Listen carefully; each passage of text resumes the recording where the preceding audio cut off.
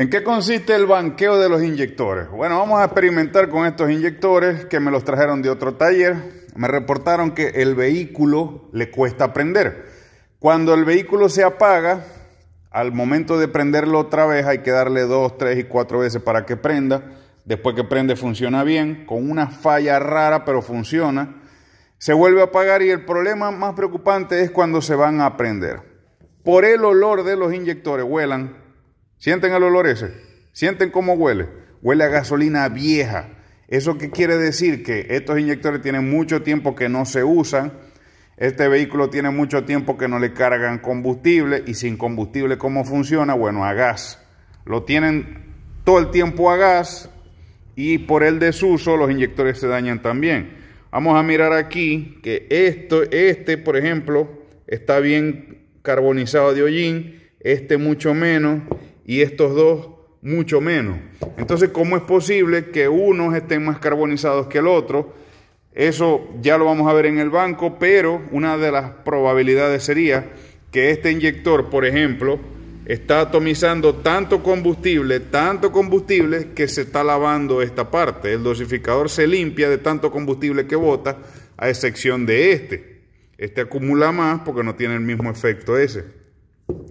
Entonces, bueno, vamos a banquearlo primero, vamos a ver cómo están y después le hacemos un servicio si se puede. Vamos a ver si sirven.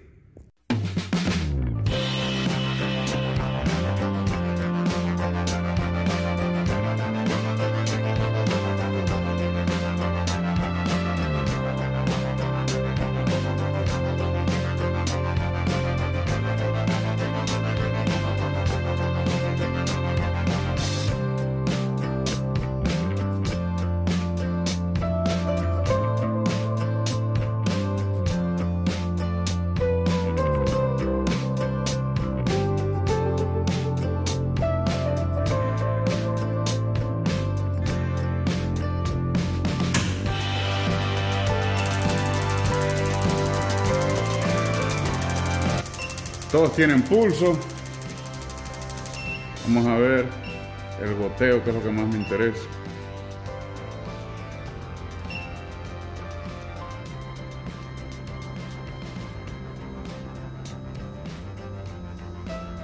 Tienen 80 libras, no están goteando. O sea, tienen buena estanqueidad. A ver, llenado.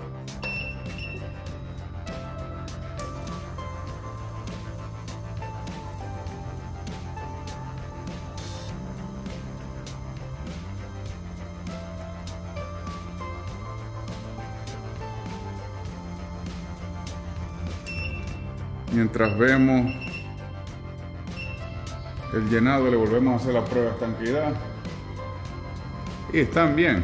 Este, 35, 32 y medio, 32 y medio, 35. Bueno, vamos a hacer un servicio.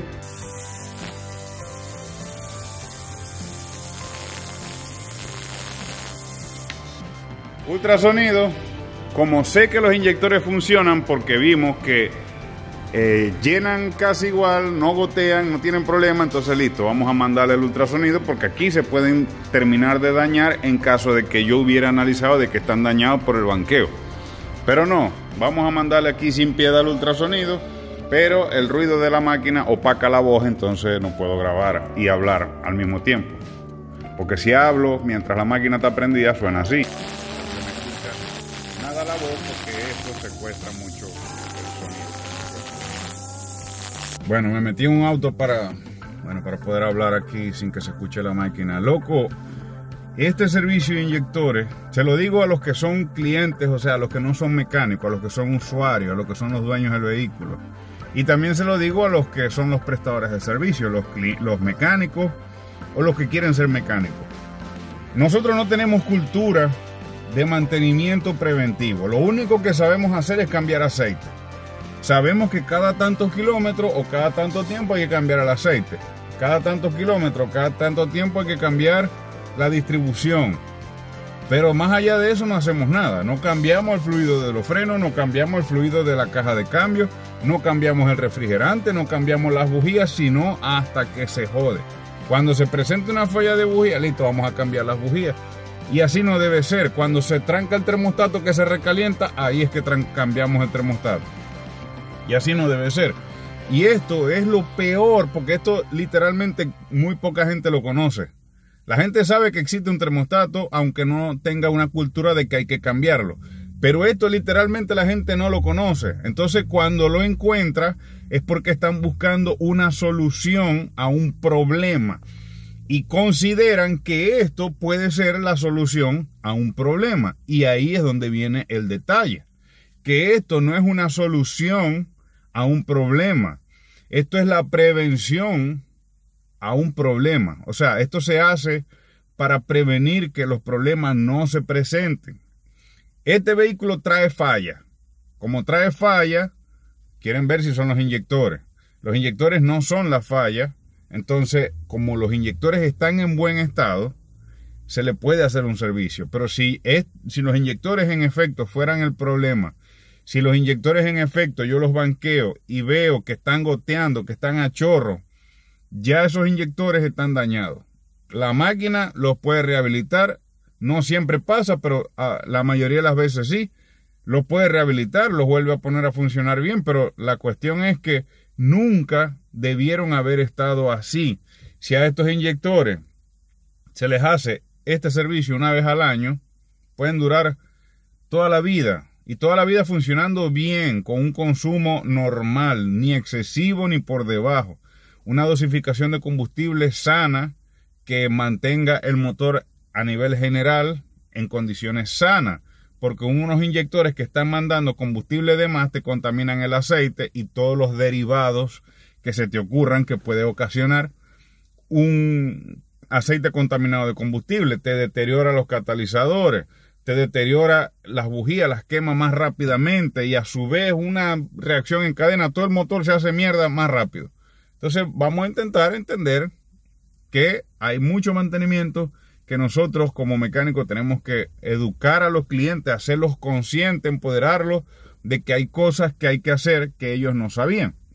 Y a su vez los clientes también tienen derecho a ver videos como estos que están en internet, que le aportan un poco de valor y le dan un poco de claridad de cómo mantener a tono el vehículo y prolongar lo más posible la vida útil de, los motores, porque sabemos que un vehículo se daña y es un estrés, un caos para una familia.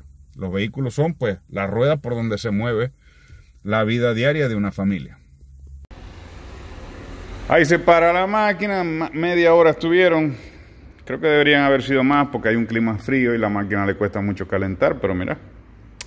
Loco, y cuando hagan este servicio, Ah, no, no, queden como estúpidos mostrando el antes y el después de la limpieza, mostrando la parte de abajo del, inyector. Porque te, vos subís ese contenido y sale un antisocial como yo a decir que eso es una ridiculez. Y te dejo como un ridículo si usted agarra y dice, mire, ya los lavé, miren ahora cómo están de limpiecito porque los lavé. Porque esto de abajo se limpia con un cepillo de dientes y jabón. Yo le paso agua y jabón por aquí y quedan limpios. Entonces no puedo decir que gracias a esta máquina es que van a quedar así de limpios. La limpieza que me interesa, que yo estoy buscando de verdad como mecánico y la que está buscando el cliente como cliente, está adentro del inyector. Adentro, porque adentro del inyector un ser humano no llega. Para eso se necesita el equipo y por eso es que tenemos el equipo, porque si fuera solamente por fuera, agüita y jabón. Entonces ahora el banqueo, que es donde vemos el, verdadero efecto de la limpieza. Vamos a cambiarle estos o y le cambiamos el microfiltro y ya está. Estos o siempre hay que cambiarlos, siempre hay que cambiarlo. ¿Por qué digo que hay que cambiarlo si no lo debería decir? Porque he visto que sacan el inyector por alguna razón y no le cambian el O-ring. Loco, los horris no valen absolutamente nada para el problema tan grave que te pueden traer. Si es el de abajo que no sella, ¿qué pasa? Hay una pérdida de vacío por ahí. Empieza a chupar aire el motor por ahí y te crea una falla en ese cilindro. Si es el de arriba, ahí se puede poner peligrosa la cosa, porque si el de arriba no sella, hay una fuga de gasolina, una fuguita de gasolina que se consigue por ahí, con una chispita de un cable que estaba deficiente, de la bobina que estaba deficiente, tira un salto de chispa, el chorrito de gasolina y mamá, mamá. Estos cositos, eh, yo se los quito. Estos cositos deberían traerlo el kit de inyectores original de este, de este vehículo. Yo ese kit de inyectores no lo uso porque es recontra caro, entonces eso va a hacer que la actividad sea mucho más cara. Yo esto se lo quito. Directamente se los quito. Los dejo así. Y aquí le pongo el o nuevo. El o nuevo. Tugi. Y aquí le pondría otro o viejo en caso de que haga falta. o viejo, ¿por qué? Este es un o viejo que le quité otro inyector está tan viejo, tan viejo, tan viejo, que está más tieso que el plástico este. Entonces, me hace este efecto. ¿Por qué yo le quito esto? Porque como vieron aquí, quitándole el o se le salió el plástico. Si ese plástico se llega a salir estando en el motor, porque ya me pasó, porque ya lo vi, yo reparé un motor una vez que tenía una válvula doblada. Yo nunca había visto un motor con una válvula doblada. Si se salta la distribución, te las dobla todas, ¿verdad? Bueno, yo vi uno con una válvula doblada. ¿Y qué pasó cuando lo desarmé? ¿Qué me encontré? Me encontré que la válvula se dobló porque se le atravesó esto. Desde entonces, yo le quito esto ahora que puedo. Si nunca hubieran quitado estos inyectores, nunca se hubiera salido esto, pero ya los tocamos. Ya está. Lo que pase de ahora en adelante es culpa de nosotros. Entonces, o se le pone el, el key original, que vale muchísimo más dinero de lo que vale la actividad esta, o lo hacemos así.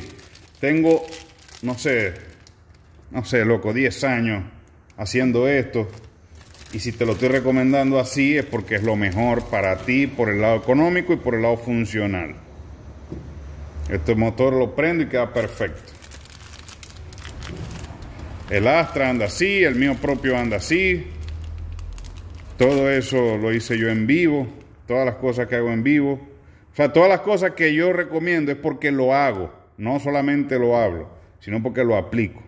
El motor de mi auto anda sin este cosito. Yo le volé los cositos esos y lo puse así como te estoy diciendo. Pumbi, ya tenemos los O-ring. Vamos a sacarle los microfiltros.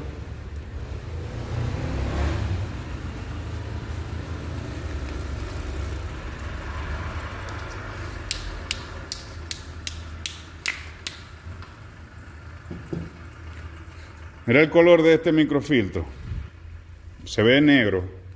Bueno, por la suciedad que tiene. Aunque este vehículo usa un filtro dentro del tanque de gasolina, o sea, un filtro directamente en la bomba.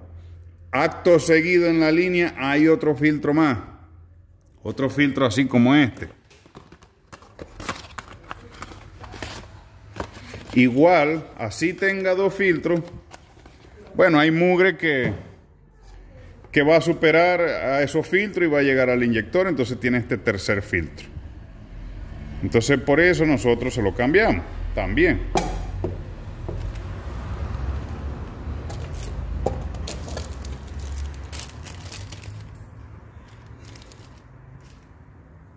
Ponemos aquí.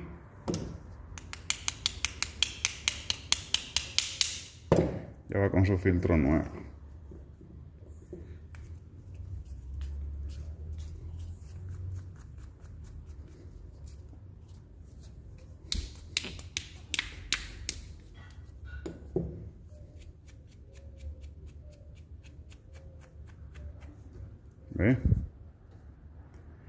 Entonces, bueno, le cambio los filtros y ahora sí los banqueamos. A veces me preguntan cosas como, loco, ¿qué hago primero? Le cambio los filtros, los limpio después, los limpio primero, le cambio el filtro después. Hermano, como te dé la gana. Usted es el mecánico, usted está haciendo eso como más le convenga. Yo lo hago así porque no le voy a cambiar esto si, pues si los inyectores están dañados. Si el inyector está dañado, yo no voy a perder plata destapando un kit de esto. Pero ya vi que están funcionando, entonces sí van a andar bien. Y aparte, ahora que les hice el servicio de limpieza por ultrasonido, que los voy a banquear, no lo quiero banquear con los inyectores, con los Horrin viejos, porque así como puede fallar en el vehículo, también puede fallar en la máquina. Entonces, a veces prendo la máquina con el Horrin viejo y hay una fuga de líquido por todos lados, me hace un desastre, me enchastra todo, me, lleno todo de líquido de ese. Entonces, por eso, bueno, Primero lo banqueé con los, con los viejos, a riesgo de que quedara fugando, pero bueno, no fugó. Pude ver que andan bien, listo. Les hice el servicio con el filtro viejo. Y ahora que ya les hice el servicio, le pongo el key nuevo y van para el banco de prueba. Vamos a banquear esto, ahora sí.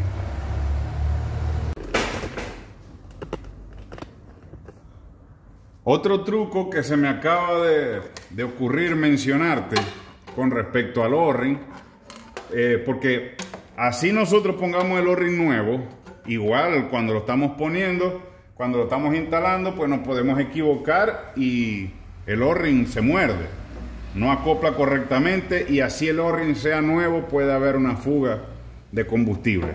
Entonces cuando nosotros pongamos el inyector, que nosotros creemos que ya lo pusimos bien y ya está todo fino, para confirmar que el O-ring quedó bien puesto y no va a haber ninguna fuga, podemos hacer esto. Si el inyector gira, si lo podemos girar así suavecito, estando ya todo apretado, instalamos el riel de inyección, apretamos los tornillos y el inyector no tiene la traba que va aquí y lo movemos suavecito, es que el O-ring está bien. Si el inyector se tranca, si se pone duro, el O-ring está mal acoplado. Entonces, bien.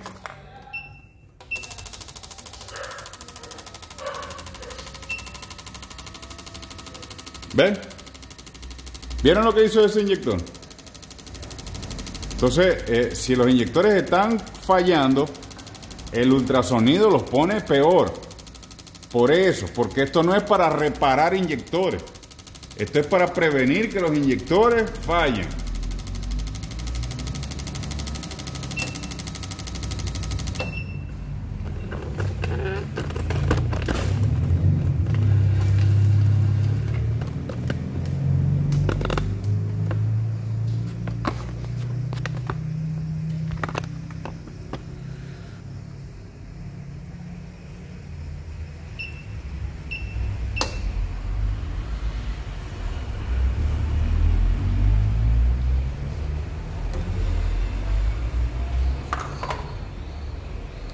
Vamos a ponerlo aquí que se ve mejor en primer plano.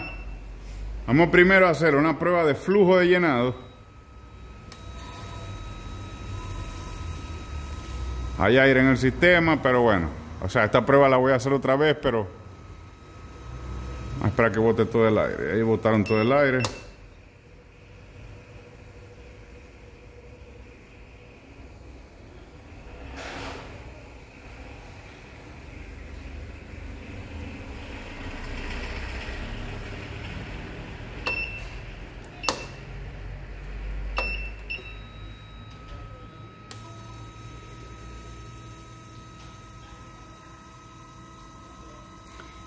Dosifican diferente.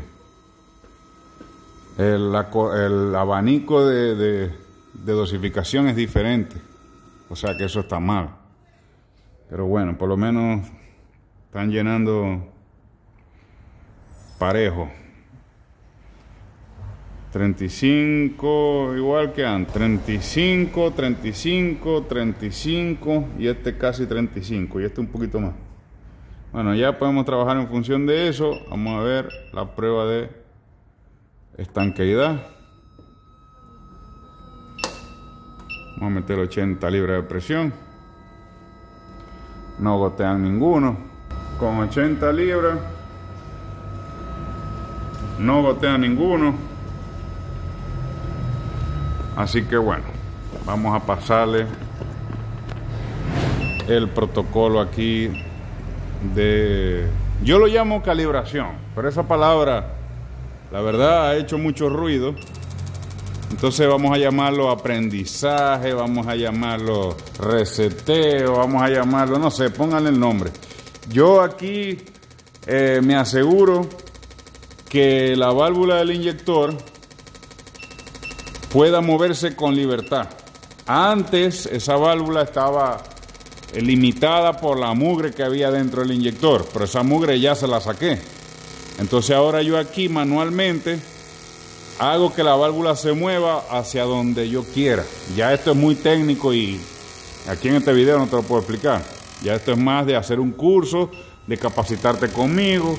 Yo no tengo curso de, de uso de máquinas de inyectores, pero bueno, sí tengo curso de un análisis más complementario de los sistemas, de cómo funciona el inyector y en base a ese curso podrías adaptar ese conocimiento a tu propia máquina en caso de que tengas una, porque si tuvieras una máquina exactamente igual a esta, te podría enseñar lo que yo hago, pero no te puedo enseñar algo que yo hago aquí que no vas a poder hacer en tu máquina.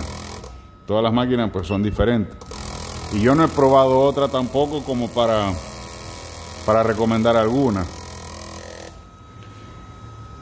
Entonces lo que te enseño es cómo funciona ese inyector en el motor, cómo funciona el motor con respecto a la inyección y esos escenarios que se presentan en el motor, arranque en frío, arranque en caliente, desacelerones, acelerones, frenazo, eh, baja presión, mucha presión, todos esos escenarios los vas a poder recrear aquí y vas a poder visualizar cómo se comportan los inyectores en determinadas condiciones. Entonces, por ejemplo, este me decía que el vehículo cuando estaba, eh, cuando se prendía, eh, le costaba prender. Y el mecánico relacionó eso con los inyectores. Entonces yo aquí estoy eh, recreando el escenario cuando el inyector está el motor apagado y prende, a ver qué hacen los inyectores. ¿Cómo arranca un motor? Si, por ejemplo, si está frío, arranca en 1100 RPM, ¿no?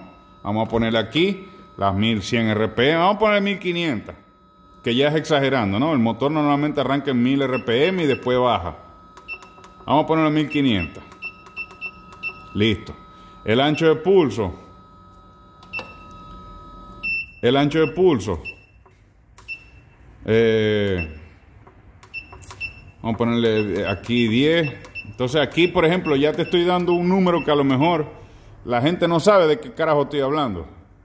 Para eso eh, es el curso de análisis, para entender estos patrones, qué es un ancho de pulso y qué es una RPM, y eso que tiene que ver con los inyectores, y usted aplica eso en su máquina como le dé la gana. Entonces, bueno, vamos este, este, lo que van a hacer estos inyectores en este preciso momento es lo que hacen en el vehículo cuando el vehículo prende. No, aquí no, va a bajar la presión primero. Ok, ahí. Ahí sí, ahí tiene, ahora sí. Le voy a mandar pulso a 1500 RPM con un ancho de pulso de 7 ms a 40 libras de presión. Así tal cual van a prender en el vehículo cuando le den arranque. Arrancan de inmediato, arrancan los cuatro al mismo tiempo, inmediatamente que le di la señal dispararon, entonces arrancan bien. Yo evalúo eso y según lo que estoy viendo con mis ojos, porque para eso es la máquina, para eso es el banco de pruebas, bueno, arrancan bien, me parece que funcionan bien. Entonces así mismo lo someto a acelerones, desacelerones, eh, cualquier cosa que se te ocurra.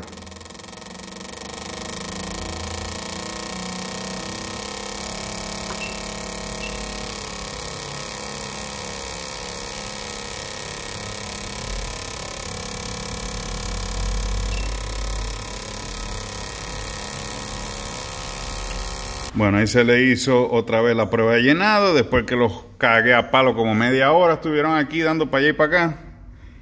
Y 35, un poquito menos de 35. Eh, se podría decir que estos son 39, 34, eh, casi 35 y 35, tan parejitos, tan chévere. Vamos a, no, aquí no, la prueba de fuga, estanqueidad. Esto es lo que van a hacer los inyectores cuando el motor esté apagado. Van a recibir presión por algún momento, por algunos minutos, y en esos minutos no pueden estar tirando nada. O sea, son un tapón. Eso va a pasar a 40 libras de presión que van a ir disminuyendo paulatinamente en lo sucesivo de, de los siguientes minutos. Y yo le estoy haciendo la misma prueba a esa, pero a 80 libras constante. Y se la puedo meter a 100. Y no gotean. Entonces, si no gotean a 100 libras por un tiempo prolongado, menos van a gotear a 40 libras, a 40 libras por un tiempo finito. Así que estos inyectores van para el baile, están listos para ir para un matrimonio. Lo que están es chulo. Y bueno, brother, ya está. Esto de una vez se va a instalar en el vehículo. Aquí estoy subiendo contenido para Instagram por si no me siguen ahí. Eh, y ya. Mi taller está en Buenos Aires, en, la, en Partido San Martín, Buenos Aires. Por si acaso quieren venir para acá. Nos vemos.